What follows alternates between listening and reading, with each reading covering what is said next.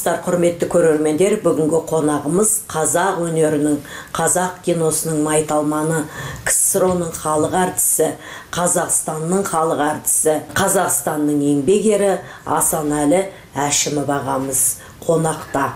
Аға енді сіздің қазақ киносына қосқан үлесіңіз өте зор үлкен үлес қостыңыз және театрда өзіндік із қалдырдыңыз.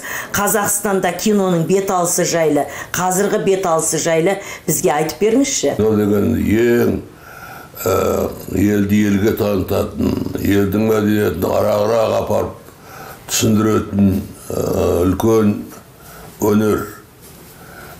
Киноны жалғыз бізде көрмейді киноны шетелде көреді ә, шетелде біздің тарихымызбен таныстыратын осы бірден бір кино ғой сондықтан киноға барлық елде көп көңіл аударады әсіресе мынау американың кинолары өте анау голливуд деген ол целый қала голливуд мемлекеттің бюджетіне жәрдем береді даже сондай жағдайға келген үлкен сондықтан кейде айтамын мен американ америкаға осыншама сол американың киносы соншама жаңағы елге көп таныстырған сондықтан американың киносына қазір үлкен прокат ол жағы енді оларда бақытты темас бір американың келгенде бізге айтқан бізде тема таусылды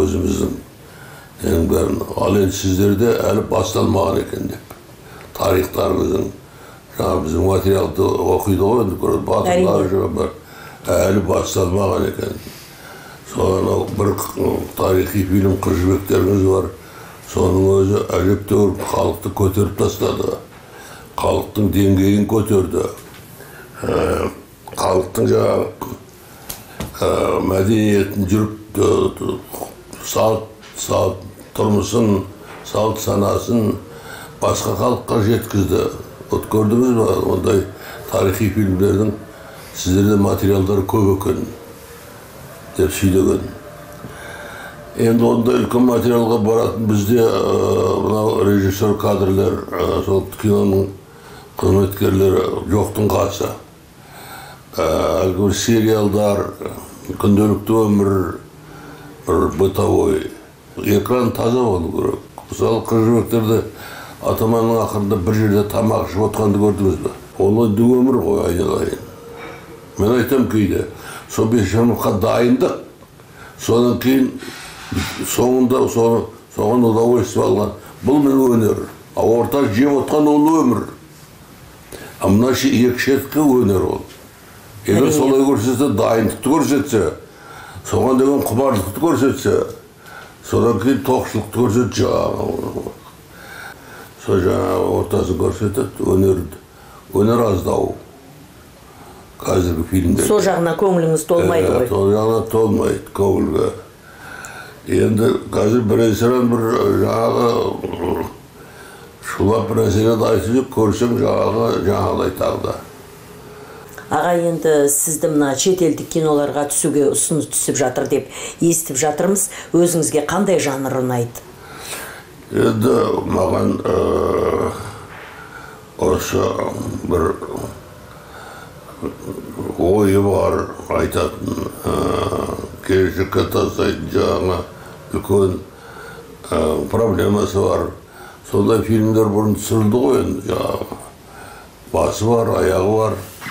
Бір адамның тағдыры туралы елдің тағдыры туралы түсірілген фильмдер сондай үлкен масштабтағы фильмдер маған ұнайды мен комедияның әртісі емеспін енді осы жаңағы қыз жібекте осы өзімнің жаңағы партнерларым қазір аңсаймын солар кетіп қалған көбісі мынау актерға өзінің өзіне лайық партнер керек осылай отырып сөйлескенде тең сөйлесетін ал енді қазір мен кейде сұрайды театрда? Театрда жаңағы сол менің партнерларым кетіп қалғасын мен де жайлап сол сахнамен қоштастым. Өйткені партнер деген өзіңмен лайықты теңдес актерлар бар енді жа- жас актерлар мына театр жағы жоғары кинодан. Театрда өнер бар. Қазір театрдың фестивальдары жүріп жатыр. Мынау көптеген театрларды көре алмаймыз ғой біз. Жақсы жақсы спектакльдер бар. Бұнда Сіздің көңіліңізге ұнайды. бұнда түсінік бар. Режиссер жаңағы театрдың режиссері оны ұнайды көңілге ұнайды. Ә, театрға кішкене көбірек түсінік бар. Театр деген бұл шеберлік лабораториясы актер үшін режиссер үшін. Бұны басынан бастап ойлайсың аяғынан бір ақ шығасың бір екі сағатта ал кино деген екі үш айда созылып әр жерін бір түсіріп соны актердің өзі опыт жоқ соны тере- нетеді бүгін былай түседі ертең сол екеуін кейін жалғағанда әртүрлі болып шығады енді проблема көп енді кинода жаңағы ол үлкен өнер оған үлкен режиссер керек үлкен білім керек үлкен опыт керек баяғы шәкеңдердің ә, сұлтандардың олар өзі сол үлкен жасқа келгенде ақыл тоқтатқанда түсірген фильмдер ғой енді бүкіл жан жағын Болжап дейсіз ғой. болжап солай қазір бір жиырмадағы жиырма бестегі балалар жаңағы кино түсіреді ол өмірдің көп нәрсесін түсінбеген адам ғой енді мысалы актердің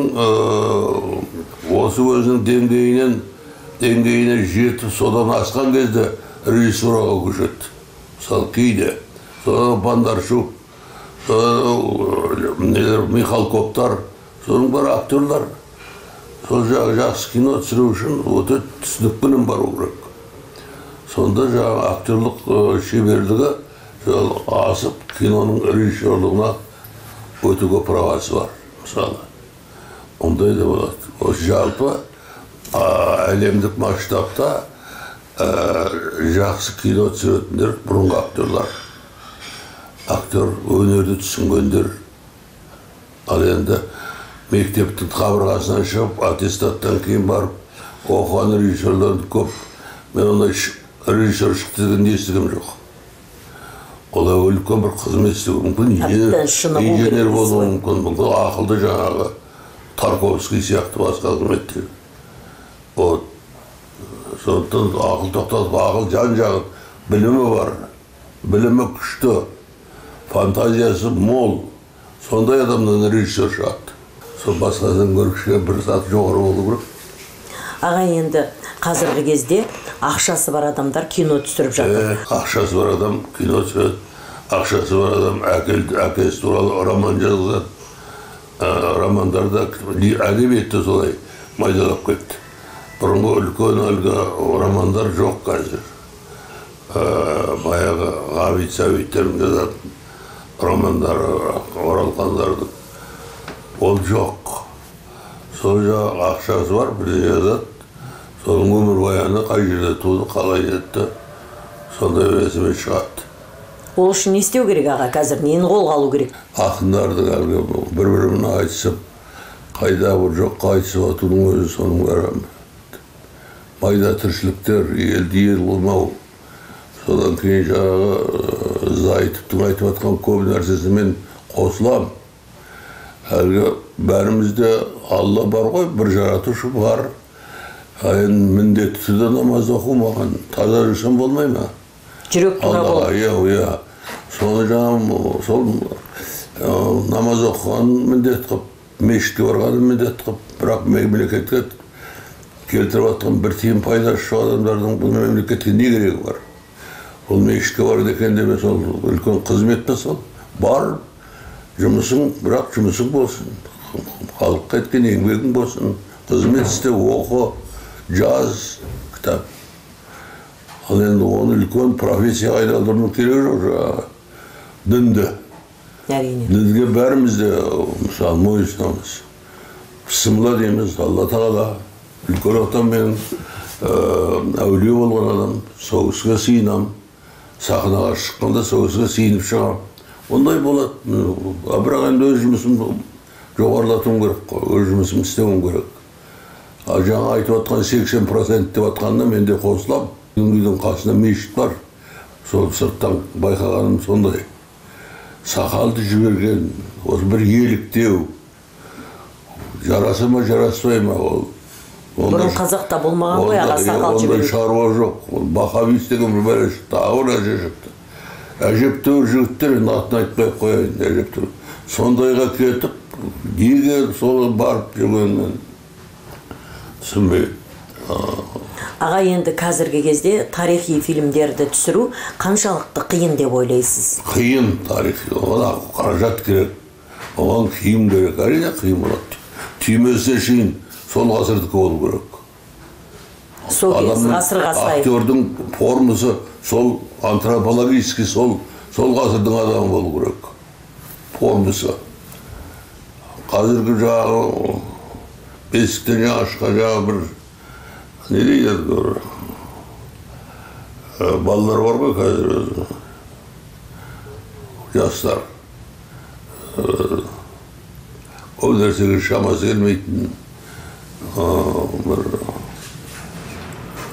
осы әлі отызға келгенше бала болып жүретін не үйленіп береке таптырмайтын сондай бір поколение ол елді өсірмейді ел өсу керек жан жақты жанұя болу керек бала шаға болу керек соны асырау керек соның қамын ойла лучше мешітке әркім өз жұмысын жақсы білу керек дейсіз ғой істеп мешітке жатқан бар біз де барамыз мешітке құда неміз береміз жаңағы садақа құдай садақамызды құран оқытамыз ол енді Қазақ жұмысқа мешіт етпейді ғой маған әрине ол өзім үшін керек өзім Әр адамның өзі таза жүруім үшін керек мен солардан көбірек сенемін жаңағы нетіп жатқандар олар көбінше түсінбейді барады әйтеуір бет ол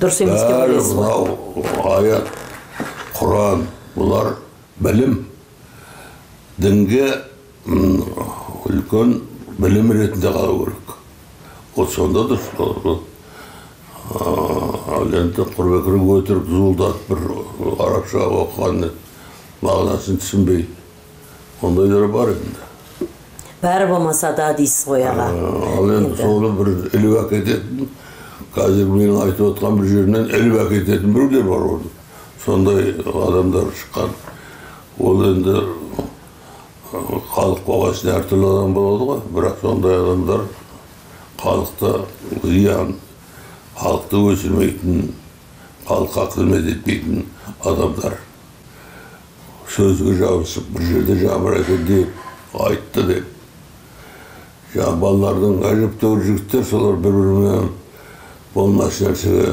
айтысып лучше ары айтыс елге айтылатын үлкен тәжірибелі үлкен жұмыс әңгімең болсын сонда бағалы аға енді мына жаңа да айтып жатырсыз ғой театрдың жұмысы жақсы ұнайды деп. Сізге несімен ұнап жатыр қазіргі театрлар? Аяқ алысы жалпы қандай деп ойлайсыз жастардың? Тағы да нені басшылыққа алу керек. Енді аяқ Театрда істегеннен кейін. жақсы театрлар бар жақсы театр жақсы спектакльдер бар біресе ол жақсы актерлар жақсы актерлар бар театральный. Актерларда кінә жоқ мен актерларға кінә артпаймын. Режиссура сол актерлармен жұмыс істеу керек. Көбірек сонда ә, спектакль шығады. Сонда кино шығады. Ең болмаса актерлық рөл шығады. Сол қазіргі жаңа айтып отқан жаңа режиссерлердің көбісі актерлермен жұмыс істей білмейді. Баяғыда бізбен сұлтан жігіттер шәкен аймановтар бүгін күніменен репетиция жасайтын ертеңгі түсіретінге ертеңгі түсіретін кадр неге кусокқа дайын болып келетінбіз бір жан жақты сосын подтекстін не туралы болып жатқанын Не айтасыз? бәрін өзі түсіндіріп қалай ойлайсың мүмкін былай деп бізбен ақылдасып солай жасайтын жұмысты сондықтан да ана жаңағы сондықтан да фильмдердің шыққан себебі сол актерлардың күшімен жақсы жақсы аға енді сіз үлкен үлкен фильмдерді сомдадыңыз талай киноларда түстіңіз ғой. Сондағы жүрегіңізге жақын қайсысы деп ойлайсыз? Менде үш төрт балам бар. Төртеуін де мысалы бәрін жақсы көремін бірдей. Бұл менің ішімнен шыққан балаларым кинолар. Мен соның бәрін жақсы көремін. Сомдаған Бәрін- рөлдеріңіз әртүрлі. әрқайсысын әртүрлі но жақсы көремін. Өзіңізше жақсы сонда сол бекежан сол шадияров сияқтылар олар әр ғасырдың адамдары олар өзі бөлек бөлек сондықтан мен оның бә- бәрін де бірдей жақтым бәрін де бірдей ұнатқаннан кейін барып сол халыққа жетімді болған себебі сол иә ештеңені бөліп жармай бойы махаббатпен кірістім оны күндіз түні жатпай тұрмай жұмысым сол болды ойым тек қана сондықтан, да ә, халыққа жеткен халыққа жеткізу керек. Сондықтан да жетті деп ойлаймын. Әрине жетті Ә, халыққа. Жас актерлар көп нәрсе оқып отырсақ көріп отырсақ теледидардан болса да жас актерлар көбінесе айтып жатады интервью бергенде осы асан әлі ағамызға қарап бой түзейміз деп. Өзіңіздің ізбасарларыңызға не айтасыз? Дұрыс жұмыс істеңдер алған рөліңді нақ жетесін жеткізіңдер сөзін айтып шықпай көп актерлар мына сөзін жаттап да сөзін айтып шығады ол сөздің ар жағында не бар соны айту керек халыққа айтатын сөзің болу керек отырған зрительге соның ішінде жаңағы кейде соларға тастау керек сұрақты сондай жаңағы әрекет болу керек әр рөлде болады әлгі автордың жазған халыққа айтатын сөз жалпы ананың мен ә, сізді ұнатамын деп отырып сол адам жек көріп отырған белгілі болу керек. Мысалға көрерменге нақты жүрекпен ойнау керек дейсіз. Сонда сонда актердің жұмысы сол. Сондықтан әлгі сылдырлатып сөз айтып шығып жаттап алып айтып шығатындар қазір көп. Ондай актерлар аның ар жағын түсінбейді. Сылдыр айтып шығады дұрыс сияқты былайша шындықтан қарағанда. Бірақ бір рет көресің екінші рет көргенде онша қызық емес. Енді сіз нақты түсінесіз кейбір адамдар нақты түсінбейтін адамға ол білінбей қалуы да мүмкін дейсіз ғой. Иә мысалы анау ұлы актерларды сериалдардың мысалы қоңқайып біз халық қайта қайта келіп көреді. Қызық қызық. Әр келген сайын күліп әр келген сайын ол әртүрлі ойнайды ғой тағы да. Әртүрлі бүгін шапаны киіп тұрса бірі шапанын шешеді тағы басқа отырса түрегеп тұрады вообще ол, ойламайды ол жаңағы мизансцена самый главный дұрыс іштегі ойы шыққан сөздің бәрі шындық сондықтан әлгі ол қалай тұрым қалай отырым қалай оның бәрін естественно жасайды расында да сондықтан көрермен бір көреді екі көреді жаңағы талай көргендер анау асау мен тұсау шәкен менен қадиша апайдың екеуінің несі ел просто қайта қайта келіп көреді. Егер де жаңағы сөзін айтып шығып ойнаса бір көреді да екінші рет көргенде интересно иә қызықсыз болып қалады дейсіз ғой аналар әртүрлі еркін ойнап отырады еркін жаңағы просто халыққа рахат туғызады да жаңағы көріп жатқанда рахат. Өздері де ұмытып кетеді халық. Расында да аға сіздің ойнаған киноларыңызда мысалы қыз жібек пен төлегеннің киносында нақты. Енді кереметтей жеткіздіңіз ғой сол кезде. Соның өзінде сол ойнаған адамды халық өзі ұмытып кетіп сол актердің өзін жек көріп кетуі мүмкін жаман рөлді ойнаса. Сондай да жағдай болады ғой аға негізі. Болады енді талай адамдар боқтық ессіздік қой мына. Иә ол төлеген кезде қазір елу үш елу үш жыл болып кетті. Жарты ғасырдан асып кетті. Ал ол кездегі зрительдің деңгейі өзі белгілі ғой көбісі соның ішінде екен деп өмір екен деп Иә. солай істеп жаңағы жылап төлегеннің елі жаңағы жағалбайлар иә осы жағының өлгенде төлеген өлтірген мені қарғап сөйтті ғой иә ондай да болды иә киноны енді расында да кейбір адамдар оқымаған тоқымаған адамдар түсінбей жатады ғой сондай да жағдай болды дейсіз ғой ондайды көрдік аға енді өзіңіз тағы да нені қолға алам деп ойлайсыз болашақта? Тағы нені қолға алу керек? Бітпеген Енді- қандай істеріңіз бар? енді қазір қазақта мақал бар. Жақсы ит өлігін көрсетпейді дейді. Мен уақытша дер кезінде сахнадан кеттім. Қазір енді жастар тәрбиелеуге кірістім. Шәкірттеріңіз бар. Адамда етап болу керек қой. Қасымдағы өзінің партнерлерім кетіп қалды.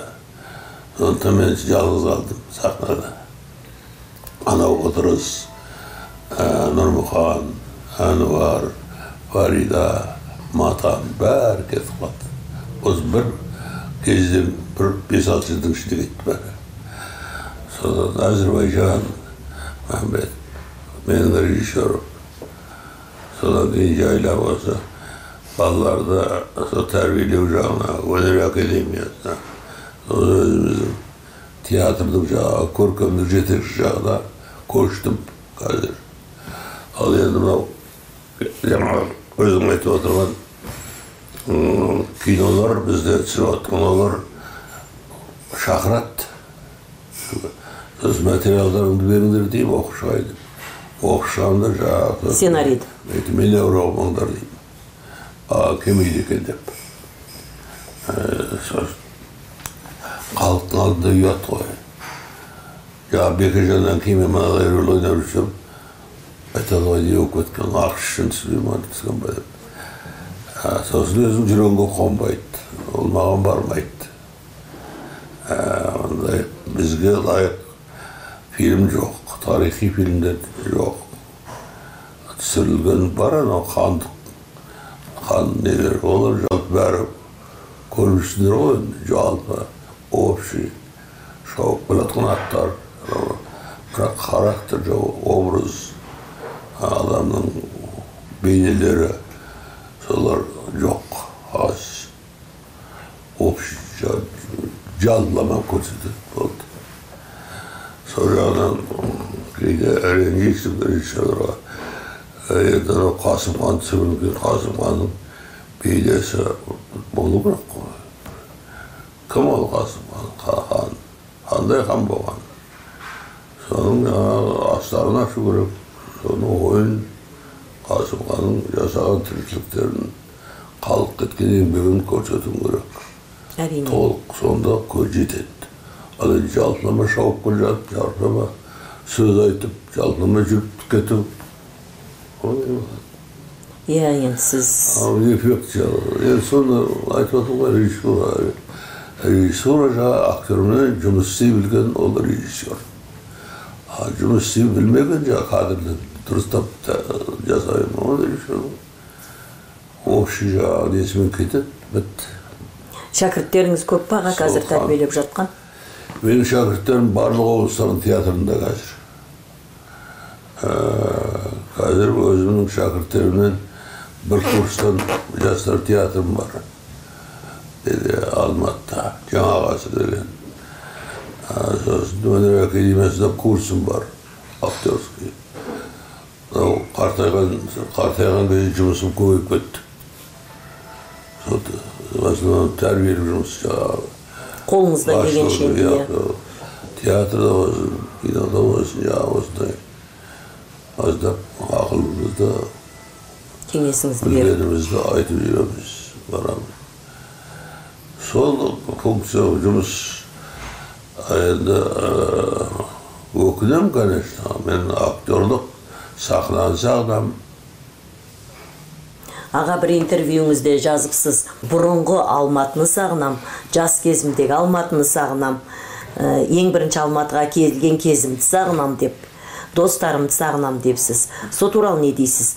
Расында да енді өзіңізбен үзеңгілес жүрген адамдарды Өзің айтып отырсың дұрыстар. Сағынасың Алматыға енді келгенімізге елу бесінші жылдан бастап алпыс бес жарты ғасырдан асып кетті ғой. алпыс бес алпыс жеті жылда. Онда бала едік. Жас. Барлығын қабылдап ауылдан келген адам таң алушылық мұхтар әуезов бірінші көргенде мен таң қалып есімді танып қалып мен ойладым ол тірі адам емес деп сол тірлігін көріп өзін көргенде мен просто басым айналып кеттім сол сияқты алматыға келгенде алғашқы үлкен этажды үйлерді көргенде таң қалдым ауылдан деп дейсіз осы адамда бал жастарда таңғалушылық деген болу керек көп болу керек сонда тез өседі фантазия тез өседі біліп көп нәрсені білуге тырысып сол мынау ең клеткалар оянады көрдіңіз ба таңғалу таңғалушылық таңғалушылық қызығушылық дейсіз ғой қызығушылық кейбіреу мән бермейді ғой көрген нәрсеге алматыны көріп тауды көріп бірінші мынау алатау таң қалдым қалай болып қалды қолдан тұрғызған ба деп сол сияқты үйлерді көріп таң қалып көп нәрсеге алматы алматының әлгі сағынам жақсы жеті жасымнан алматыдамын иә анау әлгі қазіргі үлкен әл фараби көшесі ол кезде головной арық дейді үлкен жатқан природный арық болатын жаңағы ішінде аздаған суы бар ең алматының шетісі сондай үлкен деревня болатын алматы мына жер- мына тауға барып алма деген енді просто кезде Керемет болатын аға, иә?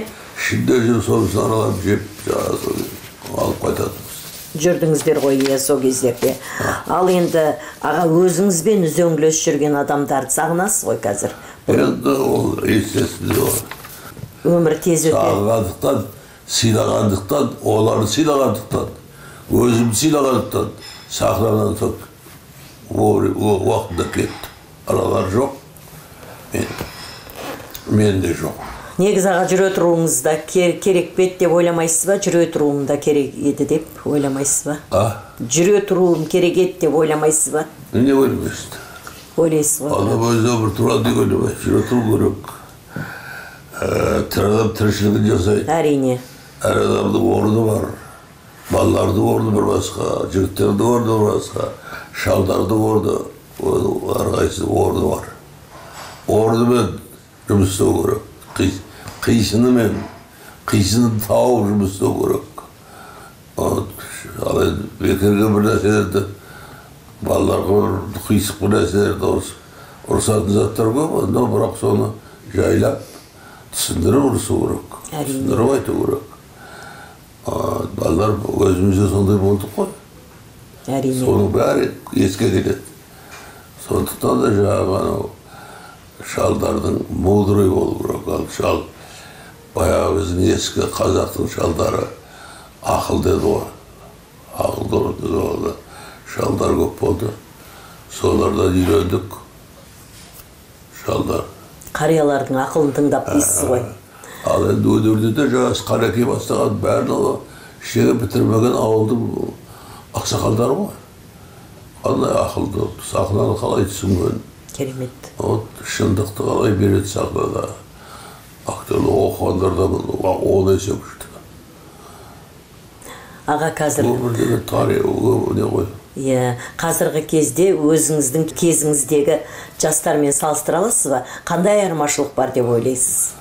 Көп айырмашылық атап айтқанда қазіргі мысалы мен он жылдықты бітірген ол деңгейі мен қазіргі университет бітірген балалардың деңгейі бірдей біз он жылдықты бітіргенде үлкен жігіт болатынбыз есейіп жан келген жағымызды білетін ескеретін а қазір университет бітірген балаларды көріп жүрміз ғой ол кезде тез есейдік біз соғыс болды аржаны қиындармен біз де тез есейдік та соғыс тез есейіп дейсіз ғой. соғыс кездің балаларымыз ғой. Қырық төртінші жылы бірінші классқа бардық. Аға сіз өмірде қатты қорыққан кездеріңіз болды ма? Мен сіз туралы көп оқыдым. Ә, сонда бір интервьюіңізде жазыпсыз. Ә, бәрінің ата аналары мектептен алып кетті. Мен жалғыз қалып қорықтым деп. Сол кез туралы айтып беріңізші өте қызықты. Енді соғыс жылдар деп отырмын ғой сол жаңағы қырық төртінші жылдар қырық бесінші жылдар сол енді ол киім кешек жоқ сол бір жетіспеушілік қар жауғанша жалаң аяқ жүретінбіз мектепке жалаң аяқ аяқ киімді экономить етіп сол жалаң аяқ барғанбыз енді сол сол қар терезеден қарасам қар жауып кетті қар жауып тұр енді ауыл үш километрдей жер ауыл алыс екен енді бәрі жалаң аяқ балам жалғыз мен емес. Сол жаңағы артынан аталары бар әжелері бар нелері бар ешектері бар атамда келіп жаңағы балалардың артынан келіп алып кетті. алып кеттік көбісі. Ал менің артынан келеді ешкім жоқ. Сонымен деген қалып кеттім мектепте қалып қойдыңыз. Ол кездегі мектеп енді ауылдық мектеп болған пол жоқ жер. Сыз оны- оны- иә оның ішінде бір о жақта бір жағатын бір пеш бар ол онда істемейді кейде сол суық короче говоря мектептің іші суып кетті соны түнімен отырып сол есейді көп нәрсені сол кезде есейдім дейсіз ғой аға енді сіз қызылжарға нешінші рет келуіңіз осы өңірге төртінші бесінші рет қой баяғы кездерде ертеректе осыдан бір қырық жыл бұрын болар. Ол сәбира байқадық ол айша бүке бәріміз бір ә, спектакльмен бір по моему мынау колхоз совхоздың бәрін бір аралап қайтқанымыз бар. Қандай жерлерге бардыңыз қандай аудандарға ұмытып қалыппын енді ауылдар ғой енді ол кезде. Ол кезде қандай мақсатпен келіп едіңіздер? Гастроль спектакль Сапарлар. Сапар сапар гастроль ғой содан кейін осы жиырма қанша жыл болды дейді кеше айтып отыр бір фестиваль болды театральный жиырма бір жыл бұрын соған келдік содан кейін бір ақындар айтысына келдік осында вот сол осы төрт жыл бұрын ба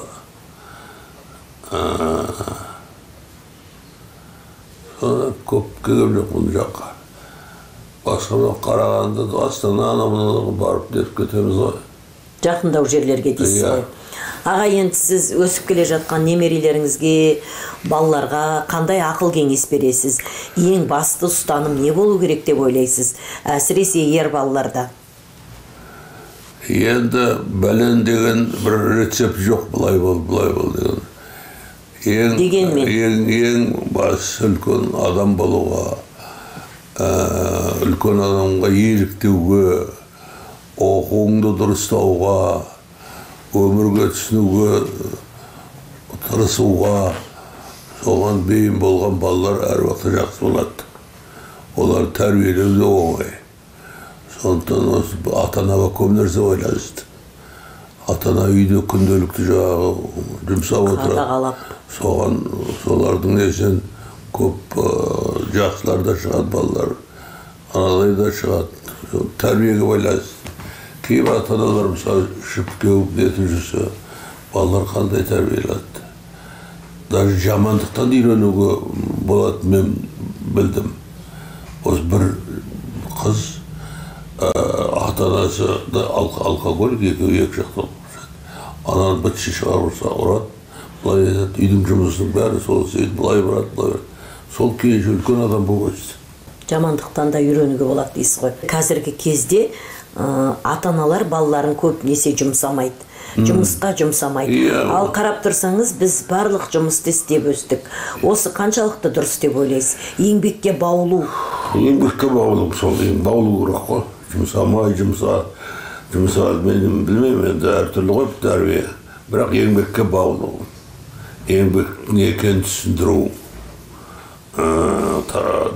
тағамның дәмнің продукттың қайдан шығып жатқанын білу оның соны білдіру ғой балаларға Ол несі сол оң солын білу білу ол үшін ата ананың үлкен тәрбиесі керек ол үшін мынау қазір балалар біз кітап оқымайды қазір. Көбі көбі дейсіз ғой. Көбі оқымайды. оқитындар да бар дегенмен. Бар шығар бірен саран баяғыда сплошной оқылатын. Енді мынау сәбит мұқановтың ботагөздерін ол әр бала оқып шықты. Кейін абайдың абайға кіріс ол ба- жалпы мысалы мен мынау өзімнің қазіргі оқып жүрген балаларыма мынау өнер академиясының актерларға театр құрған курсқа бірінші курстан бастап кітап оқыттым абайдан бастап романнан бірінші курстан бастап төртінші курсқа келгенше он шақты роман оқып шықты бәрі тіл дамиды дейсіз ғой пьеса бар рассказы бар кітап оқып шықты короче говоря соның ішінен кейін режиссер да шықты и драматург та шықты балалар өздері жазып өздері жаңағы спектакль қойған шейін шамасы келді кітаптың сонда пайдасы бірінші курс пен төртінші курсты салыстырғанда жер мен көктей болып шықты вот кітаптың күші пайдасы иә көбінесе сол кітаптың пайдасын қазіргі балалар түсіне бермейді ғой аға иә мына мынау мынау неге көштік қой бәріміз де Телефон. телефонға оны тағы да бір ойым бар бір әсер болып отырады әлгі үлкен онда да үлкен әлгі интернетте жақсы жақсы заттар бар ғой енді әрине соны қарайтындар да бар шығар бірақ көбісі жаңағы аға кәдімгі кітапты алып қағаз кітапты алып оқыған дұрыс пайдалы шығар. әрине. Сіз өзіңіз аға оқисыз ба қазіргі кезде? мен қазір тіршілігім мен мынаны түсінбеймін телефон.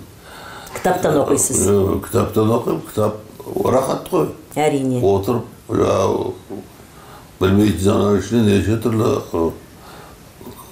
кітаптарда бұрын әсіресе ескі көптеген заттар бар. Қайтадан оқимын кейбір затты.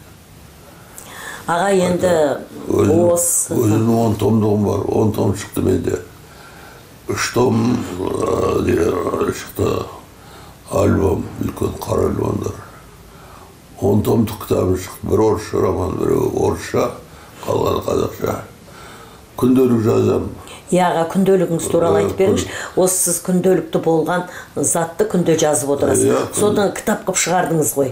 Ол оның үшін алып барлығы шыққан жоқ соның үшін алып алып кеткеннің өзінде екі том шықты ол ы, күнделік не ы, күнде болған оқиға ол шындық қар жауып тұр мысалы осындай бір интервью бердім айгүлге деп жаза саламын а ол он жылдан кейін ол әжептәуір жаңағы не болып шығады тарих тарих дейсіз ғой. Аға сонда неше жастан бастап осы күнделік жазуды қолға алдыңыз? Мен мектеп жасынан бастап жаздым почти сол ерінбей. мектепте жоқ университет институттан бастап жаздым сол бері жаздым. Соң біраз жоғалып кетті көшіп қонып жүргенде. Ол кезде частный квартира бір он шақты тетрадь жоғалып кетті. Содан өкінемін жаңағы неше түрлі қызықты көп нәрсе кетіп қалды соның ішінде иә қызықты әрине студент кездеріңіздегінің бәрі қызықты болады ғой мысалы бір жерде түн деп жаза саламын оқыған адам ойланады не түн бұл түнде не болды екен деп әртүрлі фантазияға кетеді сол үшін жазамын Қызық екен. ойласын өзім білемін я түнде не болғанын не болған дейсіз ғой иә. Ал басқа адамға жазуға болмайды. Басқа адамға жұмбақ дейсіз басқа адам жаңағы ойланады бұл не қылған иә әрине. Аға енді өзіңіз осы өңірге келдіңіз. Осы өңірдің халқына бір жылы лебізіңізді білдіріп кетсеңіз бағдарламаны пайдаланып. Өмірге өңір халқына. Өмірге келдік. Өмірге мазы болмай кетсек арман сол өмірге ойлаған ойыңды орындап халқыңа қызмет етіп жан жағыңа әйгеріп атанбай осы жөнімен кеткен дұрыс қой әр адам мен болдым осындай болдым демей менен күшті адамдар да болған бар болады келешекте сондықтан әлгі дандайсып осылай екем осылай екем деген мен де жаңа айтып отырмын ғой соғыс кезін көріп нанның дәмін біліп өскен адамдармыз ғой әрине қадір қасиетті біліп өскен сондықтан мен әлгі не